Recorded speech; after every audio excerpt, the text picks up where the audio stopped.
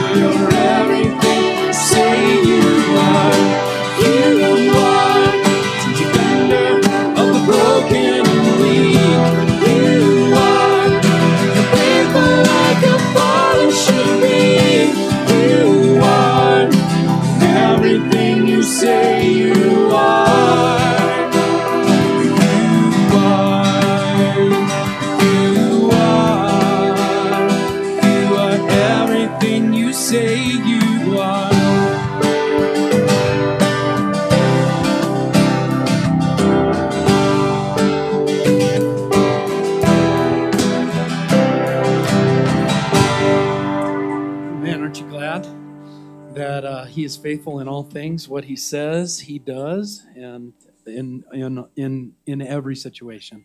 Lord, we just really thank you for this morning. We thank you for the time that we have here to worship you. Lord, we don't come um, just because we have to or out of duty, Lord. We come because, Lord, you are. You are the great I am. You're everything that um, you promise. Lord, you do the things that you say, and we're so thankful for that. And we just want to, um, Lord, we want our hearts to reflect our gratitude and our love for you this morning. We pray that you would be glorified in this place. We know we all come from different situations, different circumstances. And Lord, we're so thankful that you have given us your spirit, that we are able to. Um, you know, just really navigate through the things of this life. And so, Lord, we want to do that with a joyful heart and with a heart that just seeks after you. And so, I thank you for each one that's here this morning. Pray that you would um, just meet us where we're at. Uh, we're all in different places and in different circumstances with different needs and desires. And um, Lord, you are so good to be able to um, direct us in all ways. And so, Lord, we just look to you this morning and pray that you would be glorified.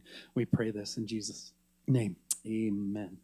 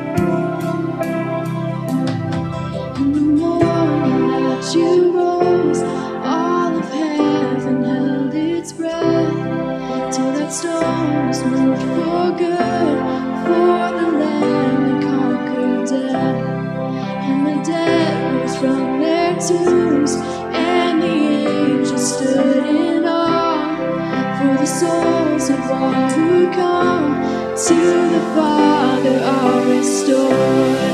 And the church of Christ was born. There was fear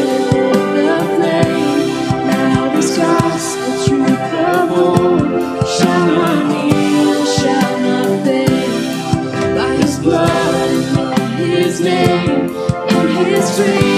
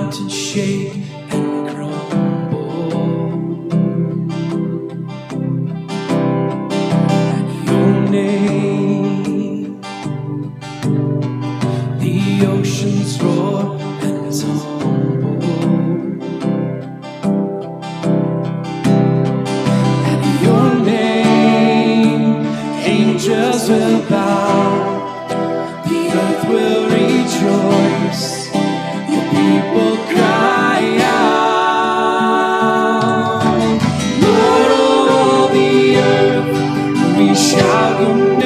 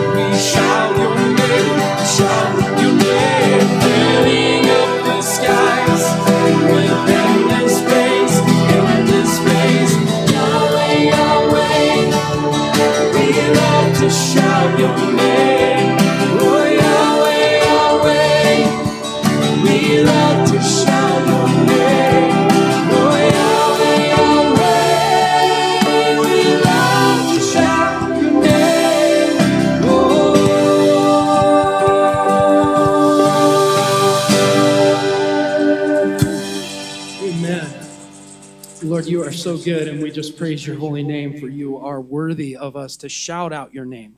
Lord, and we want to do that, not just with our words here, but with our actions and with how we live our lives, Lord. We want to shout it out because you're so worthy. We pray that you would just be continue to be glorified as we just, Lord, as we trust you this morning.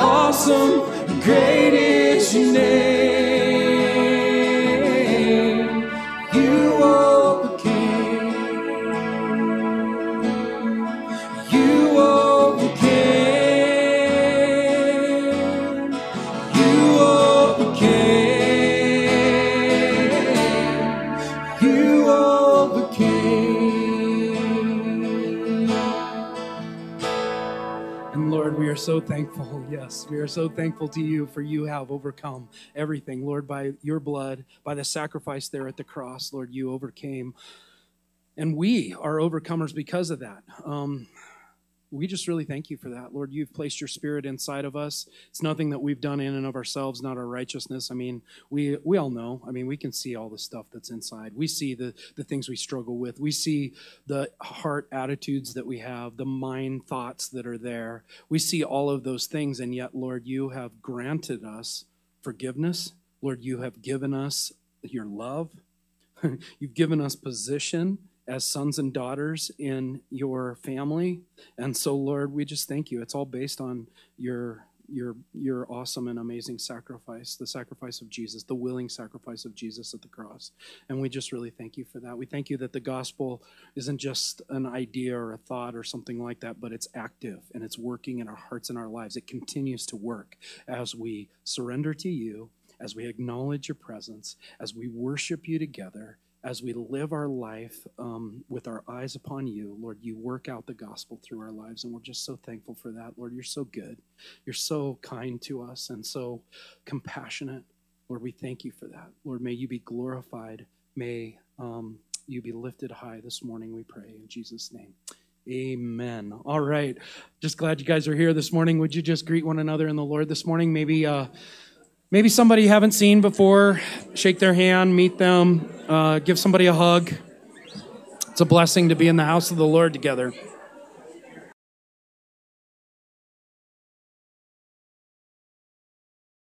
Um, let's open up in a word of prayer and we'll continue our study here in the book of Revelation. And uh, many of you got a card when you came in on Sanctity of Life Sunday, and that is very important. Be involved with the Pregnancy Center here, they do a great work.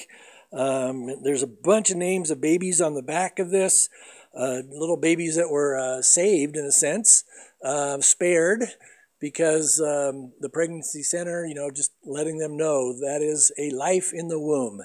So let's pray. Father, we'll talk more about that in a moment. Father, we thank you for your word. Uh, as we come before you, we just thank you for your goodness, your grace, your mercy upon each one of us here. Uh, we pray, Lord, for those who are starting up the next semester at CMU, that you would uh, just bless them and encourage them, help them to keep their focus on you. Uh, Lord, we all live in a world of darkness, and the, the world hates you. And yet, Lord, you call us to love those around us and to walk in the power of your Holy Spirit according to the truth of your word. And so, as we look at this section in Revelation 12 this morning, I pray that we would all have ears to hear what your Spirit is saying and that we would just draw close to you and we would realize that you have an amazing plan for all of us, for the Jewish people. And Lord, we just pray that we would be about the Father's business until you call us home. And it's in Jesus' name we pray. Amen. Amen. Turn to Revelation 12. As uh, we come into this chapter, it's one of the more important chapters, I think, in the book of Revelation. It's knowing and understanding the significance of this chapter that we find clarity concerning the past, present, and future events concerning Jesus, concerning Israel, concerning Satan and his future. Chapter 12 gives us some very important information about God's plan for the ages, specifically in his dealings with the Jewish people during the final three and a half years of the seven year Great Tribulation.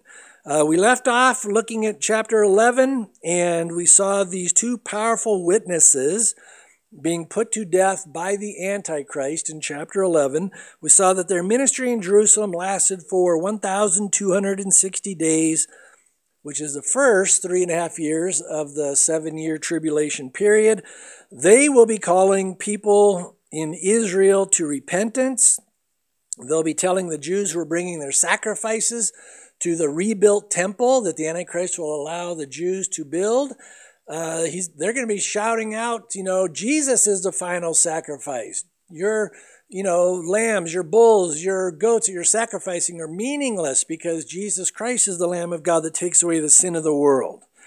Those animals will never take away your sins. And so we're told at the end of their three and a half year ministry, 1,260 days, when that's finished, then the Antichrist, as we saw, puts them to death there in Jerusalem. Their bodies will lie in the streets for three and a half days.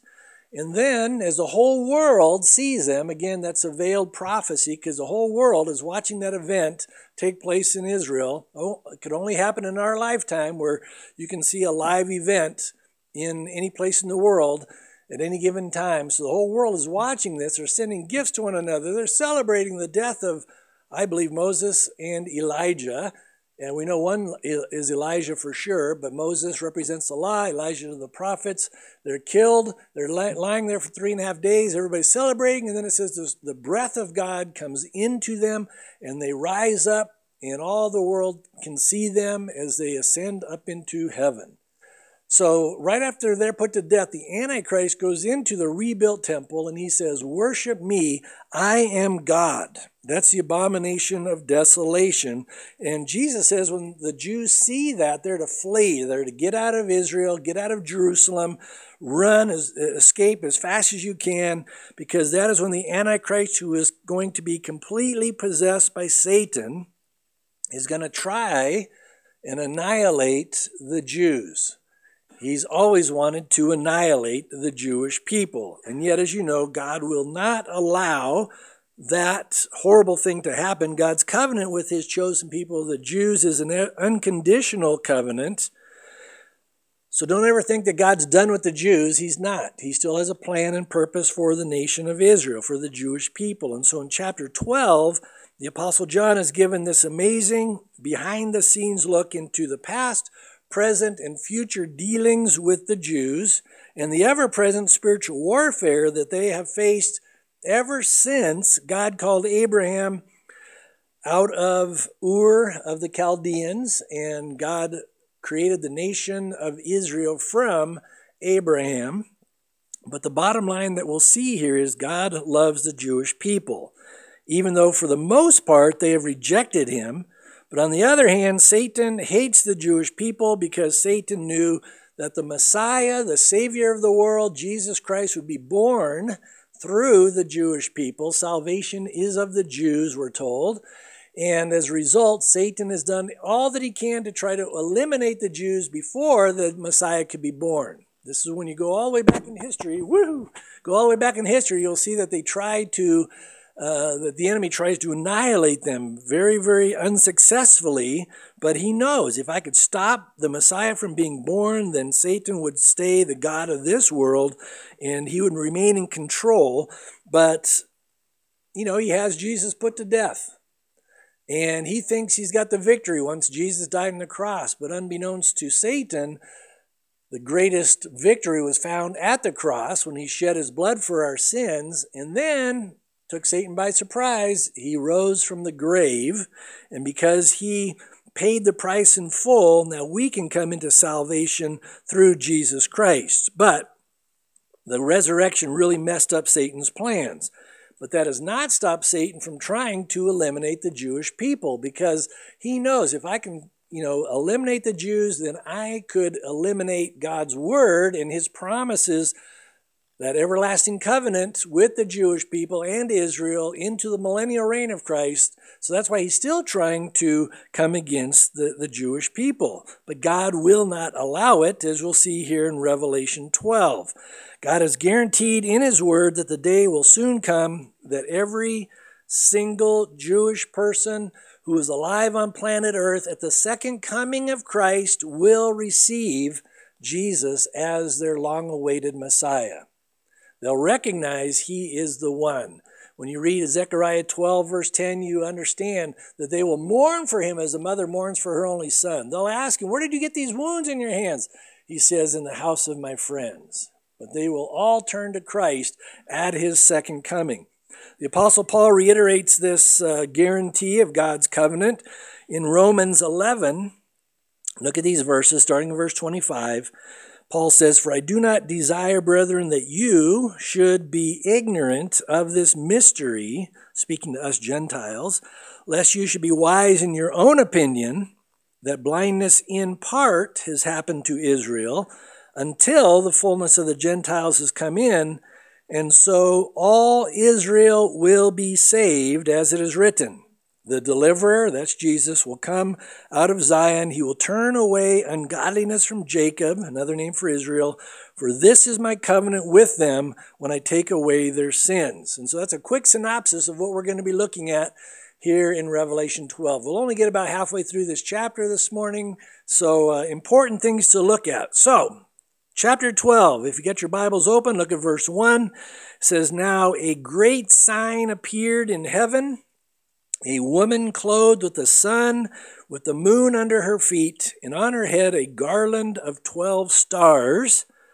Then, being with child, she cried out in labor and in pain to give birth. So, notice first of all, this is called a great sign.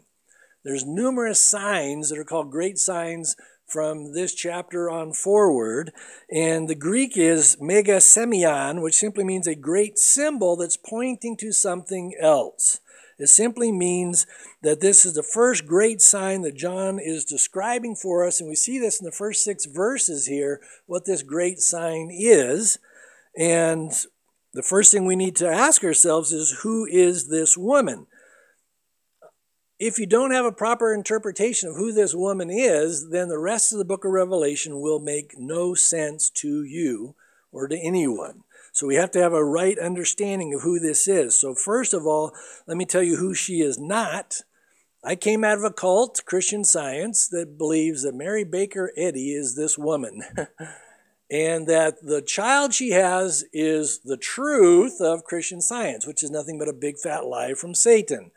There have been many cults started by women, and most of them believe this woman is whatever that woman that started that cult is, and then they were bringing forth this truth, this baby truth that comes onto the scene. That's a lie from the pit of hell. Um, that's the most arrogant thing you could think of that this person who started our church, our religion, our organization is mentioned here in Revelation 12. There's another interpretation that's a little more reasonable, but it's still untrue in that this woman they believe is the Mother Mary. Catholics believe this. Many mainline churches will believe this is Mary, and she'll bring forth the child who is Jesus, but it's not Mary, as we'll see here in a moment, because it doesn't fit the context of what happens with this woman when she is told to flee and uh, how God will protect her for three and a half years. Others say this woman represents the church. The obvious problem with that interpretation is the church did not bring birth to Jesus. Jesus brought to birth, you might say, the church on the day of Pentecost. It's often been said that the best commentary on the Bible is the Bible itself, and the only place we find a description of this woman with the 12 stars and, you know, the, uh, the moon under her feet, the sun, the garland of 12 stars, the only place this is seen in the Bible is in Genesis chapter 37. This is one of the dreams that Joseph had. Remember when Joseph had his dream and he tells his brother that I saw this vision, this dream, and in this dream I saw the sun, the moon, and 11 stars, and you all bowed down to me. Well, the 11 brothers knew that he's speaking of himself. We're not going to bow down to you, little brother. And as you know, he was taken uh, by his brothers, thrown in the pit, sold into slavery to Egypt. But the Lord caused it all to, you know, work together for good. He raises Joseph up to be second in command over all of Egypt, just under Pharaoh. And there's that seven year famine, and Joseph, because of the wisdom God gave him, provided. And so, eventually, because of the famine in Israel, the promised land, Jacob and his sons, they all come before Joseph, and his 11 brothers bow down to him, fulfilling that dream. So that's the only place we see this mentioned a woman clothed with the sun, the moon under her feet, and on her head a garland of 12 stars. So this is a reference to Israel. That's who the ones who bowed down before Joseph, and these are the ones who are now mentioned here. Um, notice at the end of verse 2, it says that she cried out in labor, in pain to give birth. This describes the harshness, the, the oppression the Jewish people were under at the hands of the Roman Empire at this time, but they brought forth Jesus. Jesus says salvation is of the Jews. So Jesus is born through the nation of Israel. He comes through the lineage of Judah. So, verse 3 And another sign appeared in heaven Behold, a great fiery red dragon, having seven heads and ten horns and seven diadems on his heads. So he sees another sign. This is all part of the mega sign, the great sign.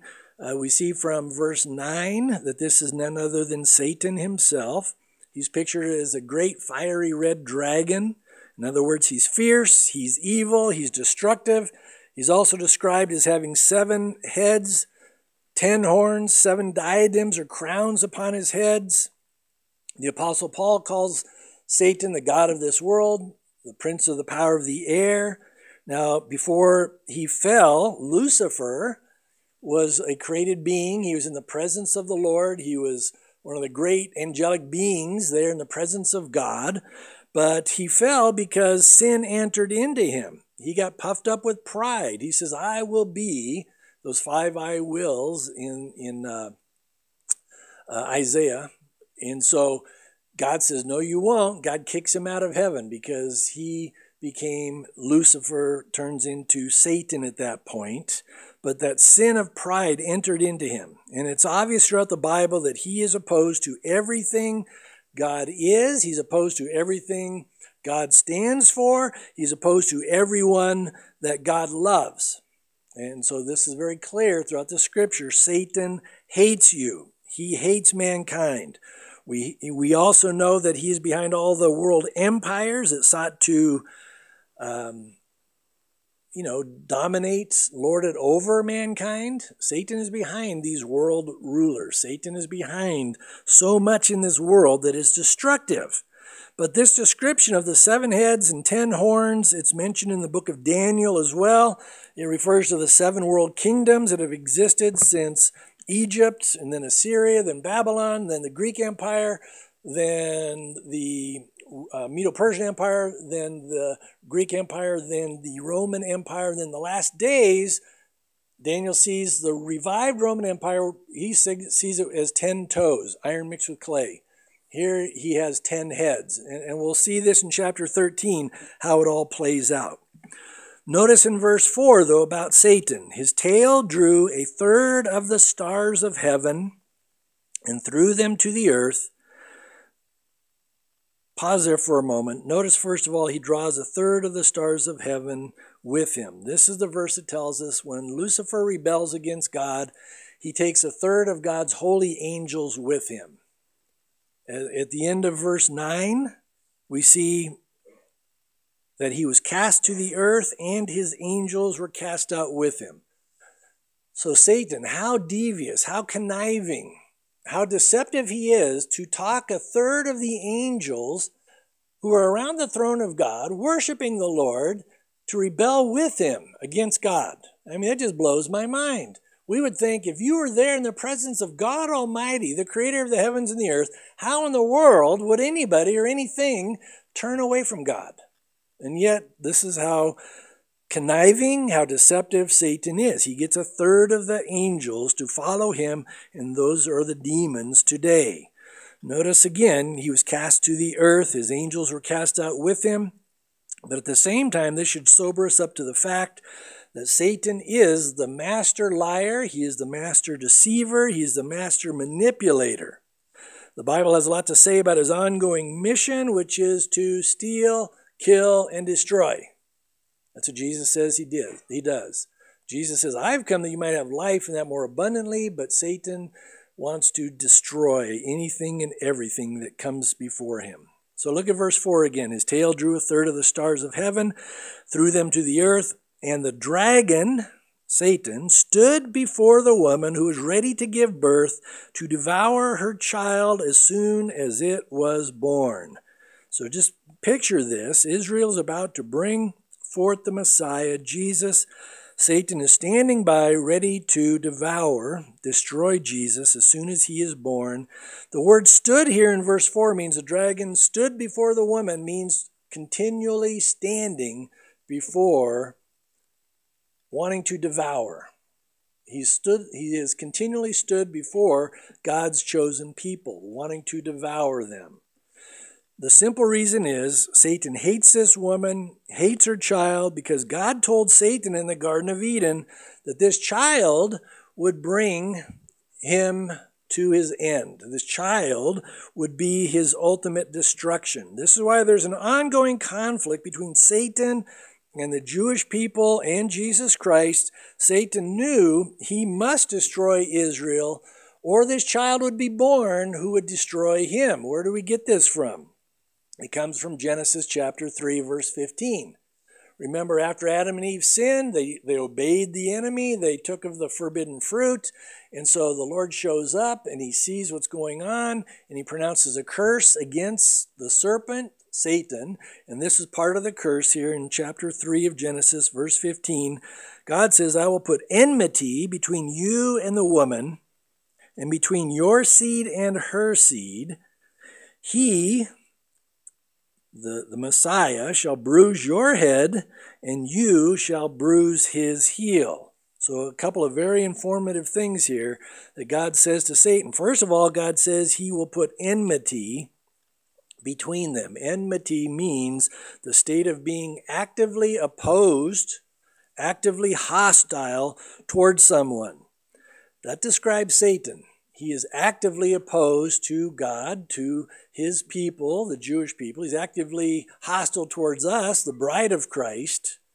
He's actively involved in this world trying to steal, kill, and destroy. This verse also tells us that the Messiah would be born of a virgin. That's the first hint of the virgin birth in Genesis 3:15 because the woman does not possess the seed, but rather she has the ovum, which is fertilized by the male seed. And God reveals this to us in Isaiah 7:14. It says, Therefore the Lord himself will give you a sign. Behold, the virgin shall conceive and bear a son, and shall call his name Emmanuel, which means God with us. So Satan knew from way back in the garden that he would either be destroyed by Jesus Christ or he would have to destroy Jesus. But as you know, Satan was, he is no match for Jesus. Jesus is God the Son, co equal with the Father and the Holy Spirit. He is co creator of everything visible and invisible, but Satan is simply a created being. Yes, he is powerful. Yes, he is deceiving. Yes, he has millions of demons working on his behalf. But in spite of all that, Jesus is infinitely more powerful than Satan. And just think, he took a third of the angels with him that are demons, so that leaves two thirds of God's holy angels. So God's holy angels outnumber the demons two to one. The Father, Son, and Holy Spirit live in us. We are in Christ. So greater is he that's in us, right? 1 John chapter 4 verse 4. You are of God, little children, and have overcome them because he who is in you is greater than he who is in the world. And as you ladies know who are going through Hebrews, the whole topic of Hebrews is he is greater than. Jesus is greater than anything and everything because he is the creator of the heavens and the earth. Now, we know that the primary reason that Jesus willingly allowed himself to be crucified upon the cross was to be the ultimate sacrifice for all of our sins. That's why he had to come from heaven to earth. On the cross, God would pour out upon him all of the wrath, the judgment for sin that we deserve. Jesus hung on the cross. My God, my God, why have you forsaken me? Because at that moment, the Lord is pouring out on him all of his righteous wrath and judgment for sin. We deserve that wrath, that judgment, but Jesus took it in our place. He absorbed the physical, emotional, the spiritual pain that we deserve, but most importantly, Jesus paid the only price for sin that God would accept, and that is his sin, sinless, perfect blood. That's the primary reason why Jesus died. A secondary reason why he died, though, was to defeat Satan, to destroy the works of the devil, to render him ineffective in the long term against the bride of Christ. This would fulfill Genesis 3:15 because remember God says of Jesus he will crush your head to the serpent. And he did that at the cross. Look at these verses, Hebrews 2 starting in verse 14. It says, Inasmuch then as the children have partaken of flesh and blood, he himself, that's Jesus, shared in the same, that through death he might destroy him who had the power of death, that is, the devil, and release those who through fear of death were all their lifetime subject to bondage. So he removes even the fear of dying. You know, I don't fear death. I mean, death is simply a promotion for a believer. We're going to be in the presence of God forever and ever. Now, I don't look forward to the process of how I might die. You know, I, I, I grew up surfing in San Diego, and I always thought, man, this would be a bummer to get eaten by a shark. That's not something I look forward to. And praise the Lord, I haven't been in the water out there in many years surfing. So, but you never know how you're going to go. But we know when we go, we don't have to fear death because we're going to be in his presence forever and ever. The Apostle John reiterates this in 1 John 3, verse 8. He who sins is of the devil. For the devil has sinned from the beginning. And notice, for this purpose the Son of God was manifested, that he might destroy the works of the devil. And so he is powerless against us. Greater is he that's in us than he that's in the world. He's given us the Holy Spirit of God. He's given us his word. We don't have to fall for his lies and his temptations. We still stumble and bumble at times because we listen to his lies, we believe his lies, but no, greater is he that's in us. We can have victory over the enemy. The Apostle Paul builds on this theme as he closes out the book of, uh, book of Romans, Romans 16, verse 20. And the God of peace will crush Satan under your feet. Notice shortly, the grace of our Lord Jesus Christ be with you. Amen. Now, when we read that word shortly, it, again, it doesn't mean it's going to happen right away, but it means that when it happens, it's going to happen in a very quick time. Remember in Revelation chapter 1, verse 1, it uses that word shortly. These things will shortly take place. En tachei is the Greek phrase. It means once these things happen, it happens in a fast, relatively short time. Revelation, everything from chapter 4 to chapter 19, happens in a seven year period, shortly. Satan, at the end of the age, he will be destroyed. And when he is locked into the bottomless pit for a thousand years, and then ultimately in the lake of fire, he will be destroyed. So, shortly. Uh, Peter tells us 2 Peter 3, verse 8, But beloved, do not forget this one thing, that with the Lord, one day is as a thousand years, and a thousand years as one day. In other words, from God's perspective, it's only been a couple of days since God gave us these prophecies that promise the rapture of the Lord's church and these astounding events in the book of Revelation, the Great Tribulation, the second coming of Christ, God's like, yeah, it's only been a couple of days, but I'm coming for you. I'm going to bring you home to be with me in glory. So Satan's destruction, it is promised. Ultimately, after the millennial reign of Christ, we read this in Revelation 20, verse 10. The devil who deceived them was cast into the lake of fire and brimstone, where the beast and the false prophet are, that's the Antichrist and his right hand man, and they will be tormented day and night forever and ever. Hallelujah. You know, forever. They're not going to be part of the scene any longer. We'll be in our resurrection bodies. There'll be no more temptation, no more fears, no more death, no doubts. It's just going to be glorious forever and ever. So the doom of Satan is guaranteed, but here the Apostle John sees him standing before Israel, the woman, ready to devour her child.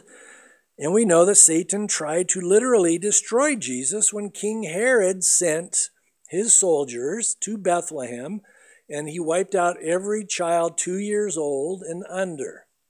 Remember when the wise men show up? It was about a year and a half, two years after the birth of Christ, because they came to the home. You know, the shepherds came to the manger, but then when the wise men show up, they find Jesus, it says, in the home.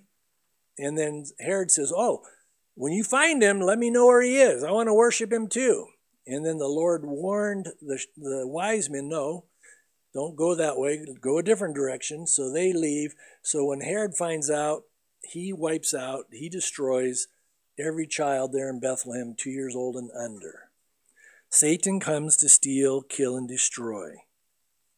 Once again, that's Satan's number one objective. He wants to wipe out human beings because we're created in the image and likeness of God. He is one disgusting being.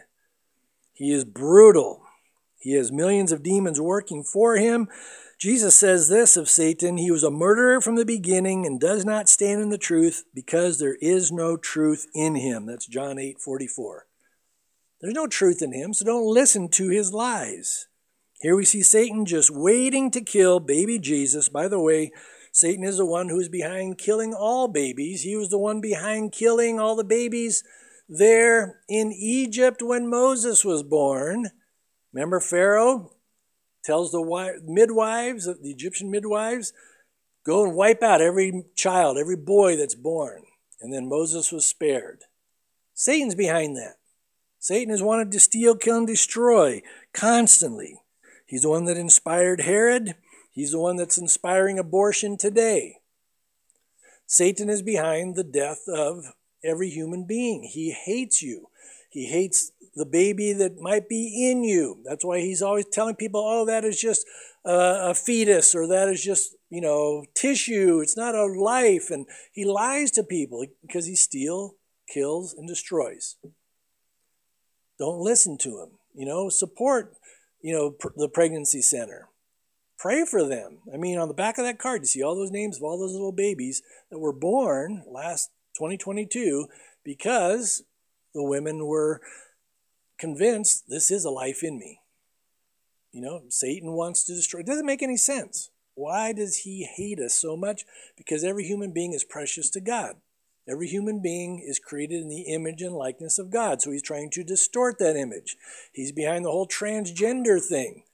Oh, you're not really a boy, you're actually a girl. And so you go through all this horrible stuff to try to make you into somebody you're not created to be. Satan is behind it all. Be that as it may, look at verse 5. She bore a male child who was to rule all nations with a rod of iron, and her child was caught up to God and his throne. So, this is obviously speaking of the Lord Jesus Christ. Psalm chapter 2 is, is all about the, the Messiah ruling and reigning. Psalm 2 9, there it is on the screen. It says, You shall break them with a rod of iron this is what the Messiah will do. You shall dash them into pieces like a potter's vessel. That's at his second coming. In Revelation 19:15 it tells us that Jesus himself will rule them with a rod of iron. So in this one short verse, verse 5 here, we see John summarizing the birth of Christ, the ascension of Christ, and and, also the millennial reign of Christ. And so make no mistake about it, our God wins. Jesus has prevailed. Satan will be defeated. But you know, this is what Bible prophecy is like. I heard it explained many years ago. Because that one verse, you have birth, ascension, a thousand year reign. So you look at a mountain range from a distance. If you're, you know, way east of Denver and you look at the Rocky Mountains, you look at it, oh, look at all these peaks. And then you get closer to them and then you realize, oh, some of those peaks are many miles behind that other peak. And then you get up on top of there and you realize, oh, there's a lot of peaks behind that. And that's how Bible prophecy is. From a distance, it all looks like one event. But when you get closer, you realize, no, these are all separated by thousands of years. His, his birth, 2,000 years ago, his ascension after he was crucified, and then him ruling and reigning for a thousand years. As I mentioned in the introduction, this has not stopped Satan from trying to eliminate the Jewish people. Throughout their history, Satan has raised up all kinds of evil people to try and wipe out the Jewish nation. You know, uh, God told Abraham when he started the, the Jewish lineage through Abraham, God tells him, it's in Genesis 12, I think it's 31, that um, I will bless those who bless you and your descendants, Abraham, the Jews, and I will curse those who curse you, to Abraham and his descendants, the Jews. That is still true today. When you think about how Satan has tried to destroy the Jews, remember in the Old Testament with Haman in the book of Esther, his goal was to annihilate every Jew. He made gallows to kill them. He set a date, this was going to happen, and it came against Haman. He was hung on his own gallows. God is standing up for his people, the Jews. Almost every Muslim country around Israel, I mean, even the Palestinian, so-called Palestinians, in their charter, in their constitution, they all say we will annihilate the Jewish people. That's in all their constitutions, their uh, mandates. We will annihilate them. We want to drive them into the Mediterranean Sea. Adolf Hitler, his final solution was to eliminate all Jewish people. He destroyed six million. When we go to Israel in a couple months, we'll be there in March. We go to Yad Vashem. It's the Holocaust Museum. It is brutal, but it shows you the depth of wickedness of sinful human beings. Adolf Hitler was possessed, I believe. He was like a precursor to the Antichrist, tried to eliminate the Jewish people. There is absolutely no logical reason why there should be anti Semitism in the world. When you think of the Jewish population today, 15 million Jews in the world today, about 8 million in Israel. Two tenths of 1% of the entire population of planet Earth are Jews. Two tenths of 1%. And yet, Satan focuses on them to annihilate them. Why? Because they're God's chosen people. God is not finished with them. They still need to come to Jesus for salvation. And we'll see here in a moment that many, many Jews will get saved during this time. But it's just crazy. Why would Satan hate them so much? Because they brought in the Messiah. And today he thinks if I could wipe out the Jews, I'll make God's covenant that he made with David null and void because God has given them an everlasting covenant and he's not finished with them. It was not a conditional covenant, it was an everlasting covenant with David that, you know, one would sit upon the throne of David forever, ruling over the Jewish people. And so Satan is trying to annihilate them. Well, look at verse 6 here. It tells us again the child was caught up to God and his, and his throne. Verse 6 Then the woman, Israel, fled into the wilderness, where she has a place prepared by God that they should feed her there for 1,260 days. So now we jump ahead 2,000 years between verses 5 and 6.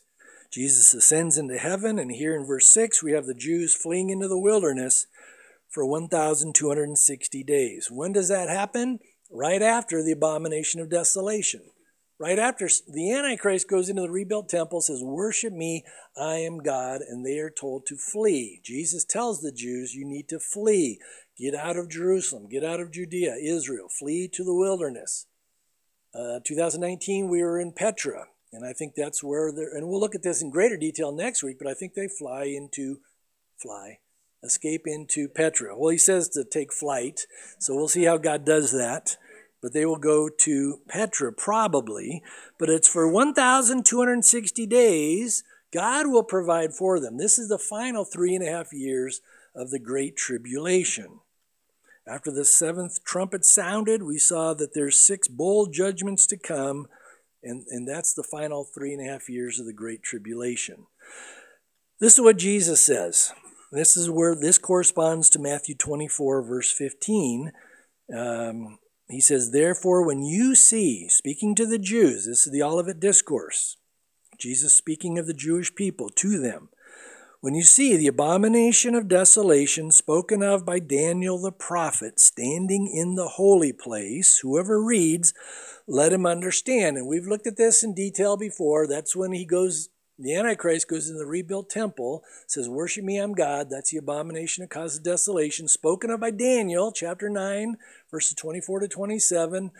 Um, Second Thessalonians chapter 2, Paul says that he will go into the temple the Antichrist, and say, Worship me, I'm God. He claims to be equal with God. That's the abomination of desolation. When you see that, Jesus tells the Jewish people, then let those who are in Judea flee to the mountains. Let him who is on the housetop not go down to take anything out of his house. Let him who is in the field not go back to get his clothes. You sense the urgency in what Jesus is telling them here? Get out of town quick. But woe to those who are pregnant and to those who are nursing babies in those days, and pray that your flight, and we'll see what that means next week, pray that your flight may not be in winter or on the Sabbath. Again, this is for the Jewish people. For then there will be great tribulation, such as has not been since the beginning of the world until this time, no, nor ever shall be. And unless those days were shortened, no flesh would be saved. But for the elect's sake, speaking of the Jews, those days will be shortened. And they're shortened by the second coming of Jesus Christ. Matthew chapter 9 or Matthew Revelation 19 starting in verse 11 Jesus returns and it says the bride of Christ the armies clothed in fine linen bright and clean the righteousness of the saints that you and I will be coming back with him at his second coming. So the urgency for the Jews is to flee Judea get out of Israel after they see the abomination of desolation, because that is when the Antichrist will go on the offensive and he will try to annihilate the Jewish people. The good news is one third of the Jews will escape. The bad news is two thirds of the Jews will not escape. Am I making those numbers up? No, we're told very clearly. It's in Zechariah chapter 13, starting in verse 8. This is the Lord speaking. It shall come to pass in the land, says the Lord, that two thirds in it shall be cut off and die. But one third shall be left in it. I will bring the one third through the fire, will refine them as silver is refined, and test them as gold is tested. Here's the good news they will call on my name, and I will answer them. I will say, This is my people. And each one will say, The Lord is my God. And so, what a glorious moment that will be when Jesus returns. And again, we'll look at this in greater detail next time. Every Jew will look to him and they'll see him. And Zechariah 12:10 says, They will mourn for him as a mother mourns for her only son. They'll ask him, Where did you get these wounds in your hands? And he says, In the house of my friends. But every Jew at that point, at the second coming of Christ, will receive him as their Lord and Savior. It's going to be amazing. Here's something that we should all be aware of. As this physical battle is going on and the Antichrist is coming against the Jewish people, there's also a spiritual battle taking place. Even as there's a spiritual battle all around us today. Look at verse 7. And war broke out in heaven. Michael and his angels, here's Michael the archangel, and his angels fought with the dragon. And the dragon and his angels fought, but they did not prevail, nor was a place found for them in heaven any longer. So here we see Michael, the archangel, the holy angels of God, battling Satan and the demons, and it's not going to be even close. God wins. Michael will win. And notice it says there they found um, no longer was any place for them in heaven. People are confused by this. Some people wonder, well, how come Satan has access to God? I thought he was kicked out of heaven way back when he still does have some access to God today. In the book of Job, remember in Job chapter 1, it says Satan appeared before the Lord and he brings accusation against Job. And he's telling God, well, Job only follows you because you've blessed him so much. You know, take away the blessings and he'll curse you to your face. So we see that he still had some access. In Zechariah, we see that uh, the angel of the Lord is on one side of Joshua, this high priest. This is when they come from Babylon. They're rebuilding the temple. Satan's on the other side, and Satan's bringing accusations against Joshua. Remember what Jesus said to Peter Satan is desired to sift you like wheat. You know, but the Lord is going to protect him. He was going to see him through. So Satan still has some kind of access today, but at this point in the book of Revelation, he's uh, he's cast out once and for all. This will be a great day. Look at verse 9. So the great dragon was cast out, that serpent of old, called the devil and Satan, who deceives the whole world. He was cast to the earth, and his angels were cast out with him. Then I heard a loud voice saying in heaven, Now salvation and strength and the kingdom of our God and the power of his Christ have come. For the accuser of our brethren who accused them before our God day and night has been cast down. So Satan gets the boot out of God's presence once and for all. But take note of these titles given to him here. Um, he's called the serpent of old. That's how he appeared to Adam and Eve, right? The slippery serpent comes in and deceives them. He was sly, he was cunning, he was crafty. He's also called the devil. The devil means the accuser, the slanderer. He's called Satan. He's, he's going to trash talk you. He's accusing you day and night before the Father. As believers, we're to be speaking the truth in love to those around us we uh, as married couples, we are to be speaking truth and love to our spouses. We're to be building up our spouses. If we start tearing them down, speaking evil things to them, you are cooperating with the enemy. This is part of an ongoing spiritual battle that we're in. We should be speaking words that build up, that exhort, that encourage, that comfort, especially in our homes, with our children, our grandchildren. If we're putting them down, if we're calling them no good, you're not going to make it, you're just a loser, then we're cooperating with the enemy. We need to shut the door on Satan's tactics. Don't let him slip into your house. Don't let him, you know, get a foothold there and start planting these seeds of fear, doubt, worry, anxiety, and the rest of it.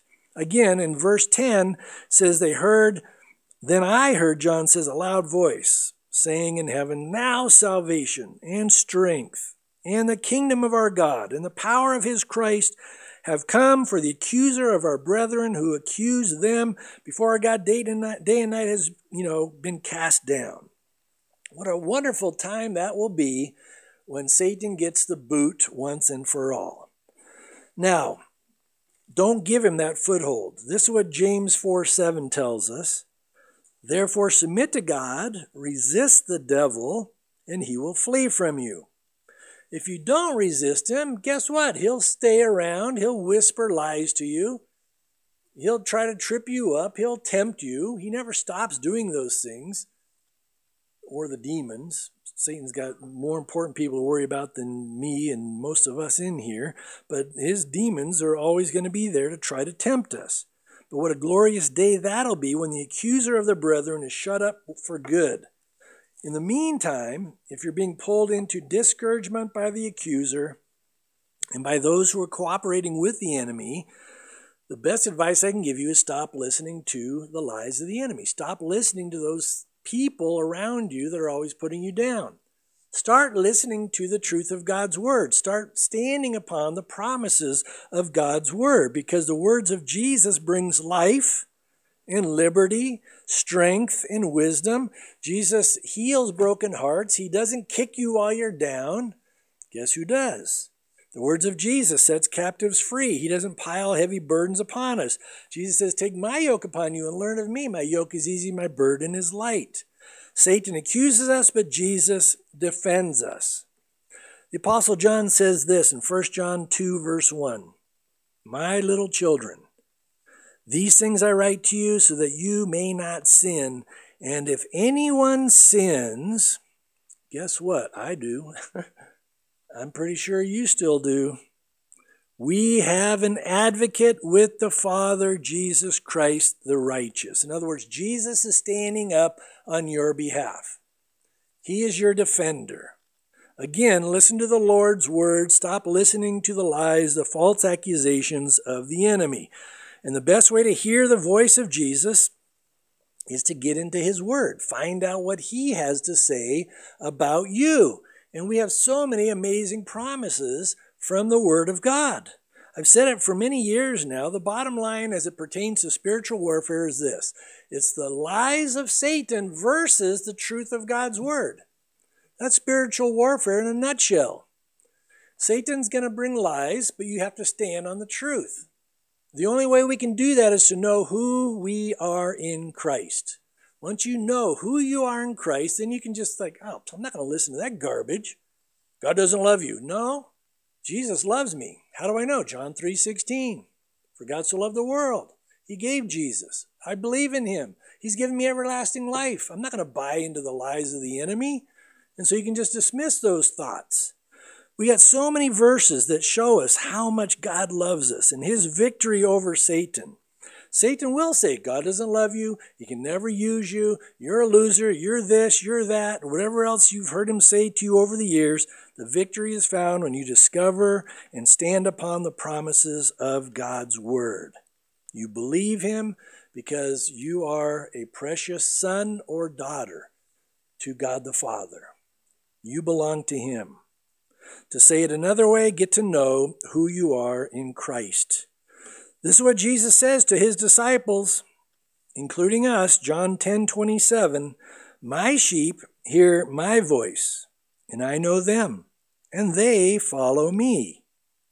And I give them eternal life, and they shall never perish, neither shall anyone snatch them out of my hand. What a picture of God's love for us. What a picture of his promise to us. You are safe and secure in the hand of Jesus. And he goes on to say, My Father has you in his hand as well. So, he has given us grace, he's given us mercy. Um, let me just read verse 11 because we just sang that song. We got to read it.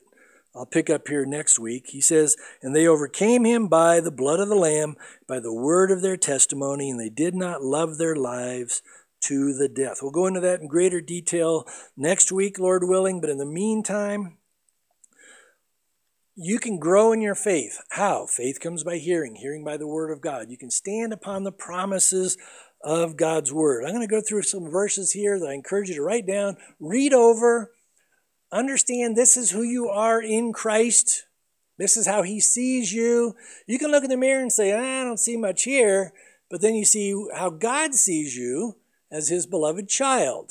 You see the way God sees you as accepted in the beloved. So the first verses, they're found in Ephesians chapter 1, starting in verse thir- uh, 3. Ephesians 1, starting in verse 3, he says, Blessed be the God and Father of our Lord Jesus Christ, who has blessed us with every spiritual blessing in the heavenly places in Christ. You'll see that phrase throughout Ephesians in Christ, in Him. This is who you are because you are in Him and He is in you. So, yeah, Jesus lives in us, but we're also in Him. These are the promises for us who are in Christ. Just as He chose us in Him before the foundation of the world, long before you did anything good for the Lord, He loved you. He called you. He separated you.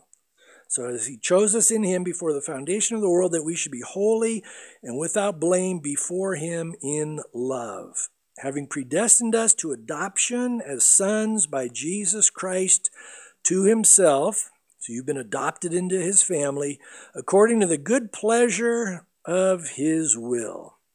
So the good pleasure of Jesus, and you're adopted. He wasn't like, oh, Father, I got to take Jeff too. I don't want, no. It was his good pleasure. Yeah, he's part of the family. Verse 6 To the praise of the glory of his grace, by which he made us, notice, accepted in the beloved. You're accepted in the beloved, in Christ. He's accepted you. He accepted you just the way you were, but he doesn't leave us just the way you were because he accepted us as sinners, but now we're saints because he is changing us from the inside out. Verse 7 In him, because we're in Christ, we have redemption through his blood We've been redeemed, purchased through his blood, the forgiveness of sins. That means all your sins are forgiven according to the riches of his grace. How, how many riches are there of his grace? I, I don't know. Way above what I could count. Which he made to abound toward us in all wisdom and prudence, having made known to us the mystery of his will according to his good pleasure there it is again, according to his good pleasure, which he purposed in himself, that in the dispensation of the fullness of the times he might gather together in one all things in Christ. Speaking of all of us, we're going to be gathered together at the rapture, both which are in heaven and which are on earth in him. In him also we have obtained an inheritance. Peter says it's undefiled, it doesn't fade away, that inheritance that's waiting for us in glory being predestined according to the purpose of him who works all things according to the counsel of his will, that we who first trusted in Christ should be to the praise of his glory. In him you also trusted, and that's all we could do. He did everything for us. All we could do is put our faith and trust in him. So in him you also trusted after you heard the word of truth, the gospel of your salvation so you had to respond to that invitation, the good news, in whom also, having believed, we had to put our faith in him, you were sealed with the Holy Spirit of promise. So that moment you received Christ as your Lord and Savior, he sealed you into the body of Christ. The Holy Spirit of promise has sealed us, who is, the Holy Spirit is the guarantee of our inheritance until the redemption of the purchased possession to the praise of his glory. That's a long section, but notice who you are in Christ. This is how much he loves you. A couple more verses, real quick. Jeremiah 29, verse 11. Many of you are familiar with this. For I know the thoughts that I think towards you, says the Lord. This is his thoughts towards you right now thoughts of peace and not of evil, to give you a future and a hope. He's not up there planning on, oh, how can I mess up Jeff today? You know, what can I do to ruin his life? No, that's the enemy. God says, no, I know the thoughts I have towards you, towards all of us. Thoughts of peace, not of evil, to give you a future and a hope. And our hope is in Him. It's an eternal hope. It's a living hope. It's a blessed hope. Finally, 2 Corinthians 5.17, therefore, if anyone is in Christ, there it is again, in Christ, Therefore, if anyone is in Christ, he is a new creation. Old things have passed away. Behold, all things have become new. Praise the Lord. We're new creatures in Christ. Let's pray. Father, we are so thankful for your plans, your purposes. We see the big picture that you created us, that you love us, we're not to be ignorant of Satan's devices because we know he hates us. He wants to steal, kill, and destroy. He wants to rip us off. And yet, Lord, you have given us life and that more abundantly. And we thank you, Lord, that we can just choose to walk with you, putting off the deeds of the flesh, reckoning the old man dead as you said, Jesus, if anyone desires to come after me, let him deny himself, take up his cross daily, dying to our fleshly desires, and just follow you. And as we follow you, you equip us with all that we need for life and godly living. Again, you've given us the Holy Spirit of God, you've given us your very word. And it's the Holy Spirit who brings your word to life within our hearts, within our minds. And Lord, we can live in the victory you have given us. And I thank you, Lord, for all my brothers and sisters that are here today. We know we're in a spiritual battle, and we'll talk more about this next time. But Lord, we thank you that you are with us always. You've given us tremendous, you know, pieces of the armor of Christ that protects our minds, protects our hearts. You've given us victory in Jesus, and we don't have to fight from defeat or for victory. We fight from victory because the battle has been won by you. And we thank you, Lord. Help us to stand strong in this world in which we live. Until you call us home to be with you, may we fight the good fight. May we stay on course. May we keep the faith and finish the race as we walk in the Spirit and not in the flesh. As we allow the fruit of the Spirit to be produced within us. The fruit is love, joy, peace, patience, kindness, goodness, gentleness, faithfulness, self control. Lord, we need your Holy Spirit to produce this in abundance in all of our lives because then the world will taste and see that you are good. This is the new commandment you've given us that we should love one another, even as you have loved us. By this, all will know that we are your disciples by the love, the fruit of the Spirit that is working in us and through us for your glory. And we thank you, Lord, for being here in our midst. We thank you for your word. And give us victory, Lord, each day this week as we stand upon the truth of your word. And it's in Jesus' name we pray. Amen.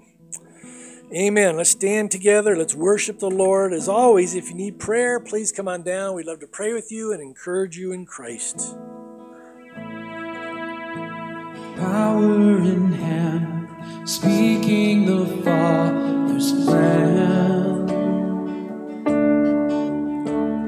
Sending us out, light in this broken land.